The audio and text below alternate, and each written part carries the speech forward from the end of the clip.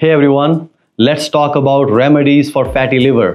I'm Dr. Sethi. I also go by Dr. Sethi. I focus on your liver health.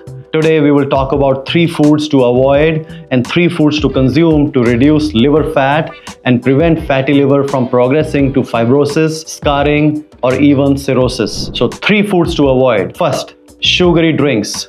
Top of the list are sodas and juices. These are loaded with empty calories and can severely damage your liver, contributing to fatty liver disease. A common question I get is whether diet sodas are okay. Unfortunately, even diet sodas are not ideal as they contain artificial sweeteners like aspartame which can disrupt your gut microbiome. Soft drinks are liquid poison. I personally use water, sparkling water, coffee or tea. Second, deep fried foods. I tell my patients if we are deep frying, we are dying. Deep fried foods, especially those cooked in unhealthy oils, should be avoided. If you must have fried foods, use an air fryer. While not perfect, it is a better alternative to deep frying. Remember to use high smoke point oils like avocado oil, ghee, refined coconut oil, or refined olive oil in your air fryer.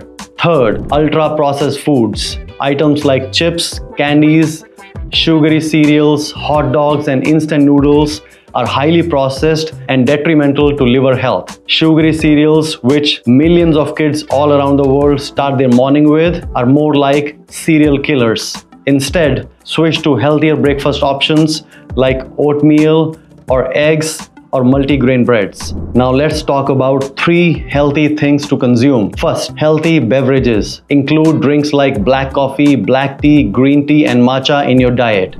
These beverages are rich in antioxidants that can support liver health. Just keep these to 1 to 2 cups a day and avoid adding sugar. A touch of honey is fine and if you have trouble sleeping, you can choose decaf options which still offer plenty of liver-friendly antioxidants. Second, turmeric. It contains curcumin, a compound with strong anti-inflammatory properties. Aim to incorporate half to 1 teaspoon of turmeric in your diet daily. Make sure to talk to your doctor first. You can add it to soups, marinades, or even your evening yogurt. It is a simple addition that can support liver health. And third, three B's. Incorporate berries, broccoli, and beets into your meals. Berries are rich in antioxidants, particularly anthocyanins, which help reduce oxidative stress and inflammation in the liver blackberries, blueberries, strawberries, goji berries, acai berries, all kind of berries. Second,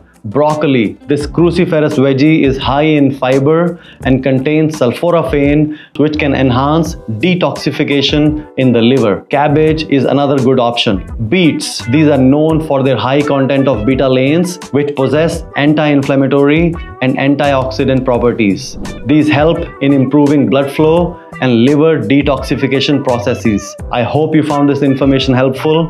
Like and subscribe and I will see you in the next video.